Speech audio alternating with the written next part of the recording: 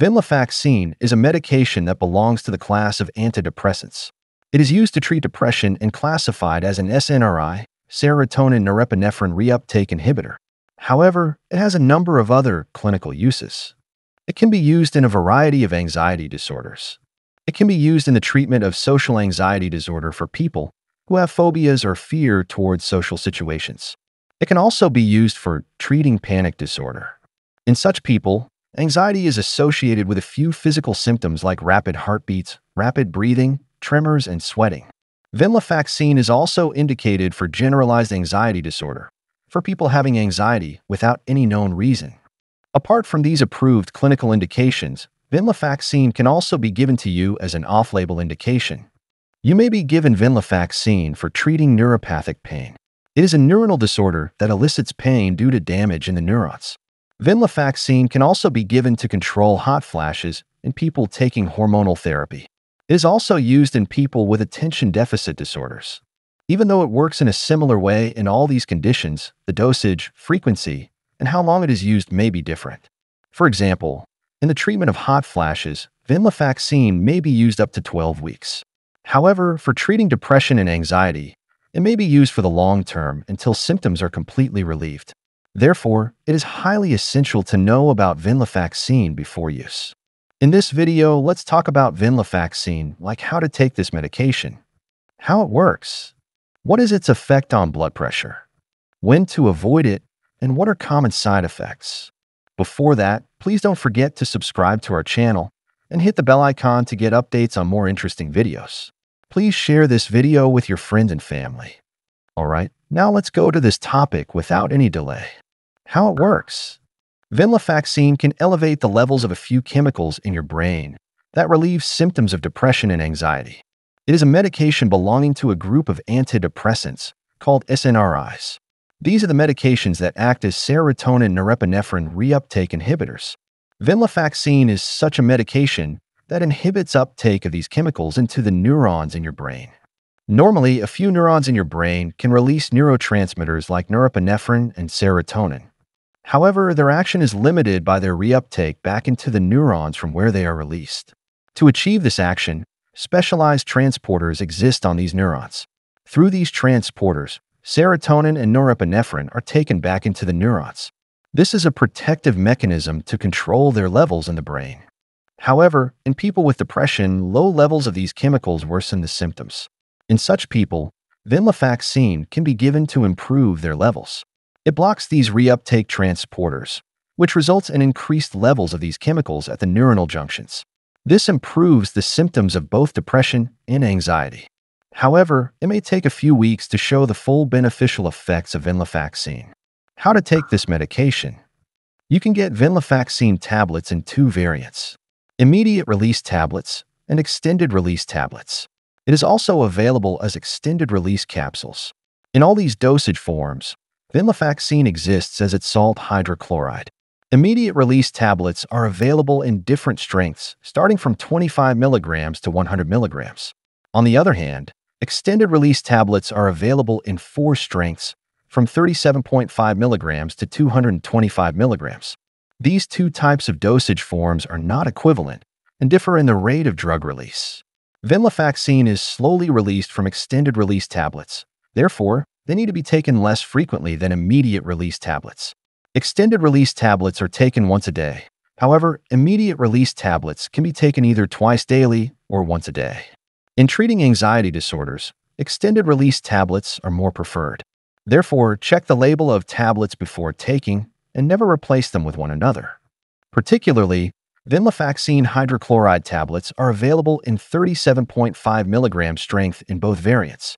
You may need to take 37.5 milligrams of immediate release tablets two times a day.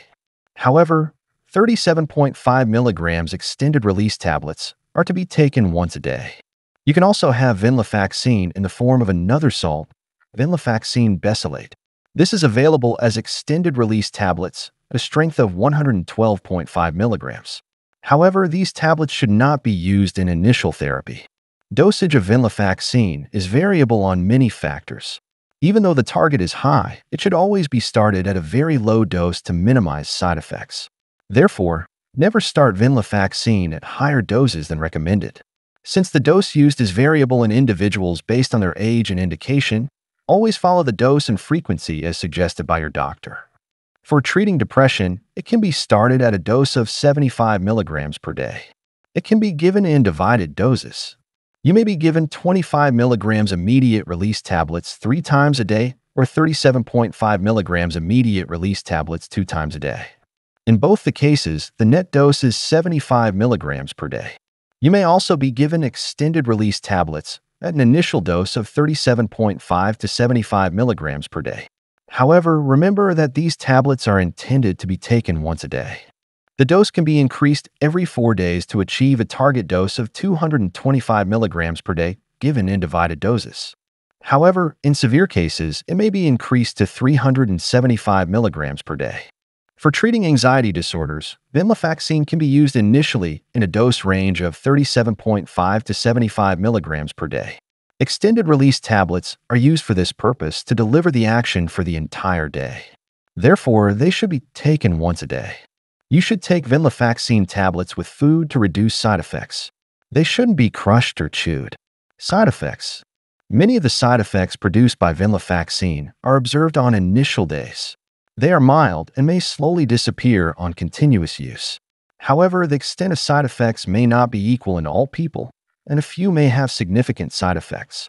Typically, it can make you feel dizzy and cause sleepiness. However, you may not have a good sleep and trouble sleeping can be observed. You can have dry mouth and excess sweating. Taking plenty of fluids and wearing loose clothes may minimize these effects. You may also have nausea, headaches, and constipation. Venlafaxine can cause a loss of appetite. However, significant weight loss may not be observed in all people. On long-term use, venlafaxine can cause abnormal ejaculation and reduce sexual desire. Withdrawal symptoms. Never stop this medication suddenly, especially if you are at higher doses. Sudden stopping of usage may bring a few withdrawal symptoms. You may have dizziness, headaches, trouble sleeping, anxiety, agitation, numbness in hands and feet, and tremors. Since this medication relieves symptoms of anxiety, sudden withdrawal may worsen the condition. Therefore, always gradually reduce the dose over a few weeks to minimize these side effects. Risk of glaucoma. Venlafaxine can cause dilation of your pupils. This may not be troublesome in normal individuals, but in people with any abnormality in eye structure that reduces drainage of fluids in the eye, it may result in angle closure glaucoma. Therefore, be cautious if you observe any increased pain or pressure in the eye. Effect on blood pressure. Venlafaxine may increase your blood pressure. Both systolic and diastolic blood pressure may be elevated. Therefore, monitor your blood pressure regularly while taking venlafaxine and observe how much rise in blood pressure was observed with use of this medication. The risk may be more pronounced if you have pre-existing hypertension. Therefore, if you observe an elevation in your blood pressure for a longer time than earlier, your doctor may reduce your dose. Abnormal bleeding. Venlafaxine may slightly increase the risk of bleeding. This may be more important when you're taking medications like aspirin or other anticoagulants like warfarin. Use of NSAIDs may also increase the risk. Therefore, never combine such medications without consulting your doctor. Abnormal thinking. Just like many antidepressants, venlafaxine can induce abnormal thoughts and suicidal behavior. It is particularly more pronounced in young and adolescent people under the age of 24. In such people, caution should be taken to monitor any changes in mood and behavior. When to avoid. Use of venlafaxine is contraindicated in a few people who have a risk of developing serious side effects. In people with existing heart problems, this medication can increase heartbeats and even elevate blood pressure. Therefore, in such people, venlafaxine is not recommended. Using venlafaxine in pregnant women a few months before delivery may cause a few adverse effects in newborns. It can also increase the risk of bleeding after delivery. Therefore, in pregnant women, or women liable to become pregnant in a few months, use of venlafaxine is generally not recommended. In people with narrow-angle glaucoma, again, this medication should be avoided. Venlafaxine can increase the risk of seizure tendency. Therefore, in people with a previous history of epilepsy, it is not preferred. If you observe any allergic reactions like skin rashes and swelling, use of venlafaxine should be avoided. These are the important things that you should know before using venlafaxine. That's all, guys. Thanks for watching this video.